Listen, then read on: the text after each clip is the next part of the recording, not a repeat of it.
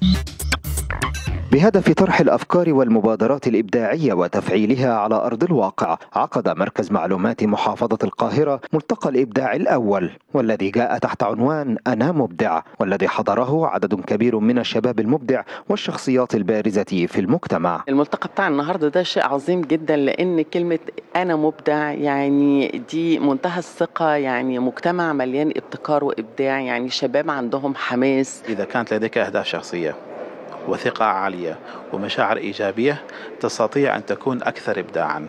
المبدع هو الذي يوجد الشيء على غير مثال سابق.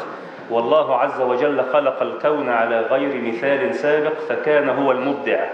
والإسلام لا يمانع الإبداع مطلقا. المؤتمر الذي قدم فيه الشباب عدد من الأفكار الإبداعية كرم بعض الشخصيات البارزة لإسهاماتهم الكبيرة في المجتمع مشيرين إلى ضرورة أن يقتنع المبدع بفكرته والعمل عليها كي ينهض بها. ركزنا في تكريم بعض المبادرات اللي هي موجودة أصلا على أرض الواقع وإن شاء الله النهارده بينطلق من من من منصة الملتقى مبادرات برضو حقيقيه زي مبادره رخص القيادات الحياة الزوجية للكاتب آه، كريم الشاذلي وبعض المخترعين اللي موجودين معانا. أي حد عنده فكرة يعني يا ريت ما يموتهاش ويتحجج بفكرة إن هو إمكانياته ما تسمحلوش إن هو ينفذ الفكرة دي أو إن الفكرة مش هتطلع زي ما هو عايز فيكسل والفكرة تموت.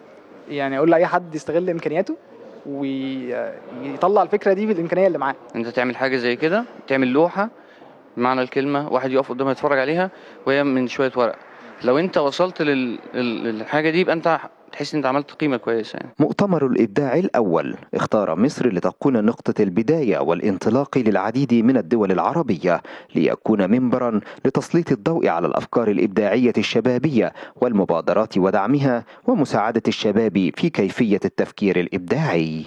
ترسيخ مفهوم الإبداع عند الشباب والتفكير خارج الصندوق.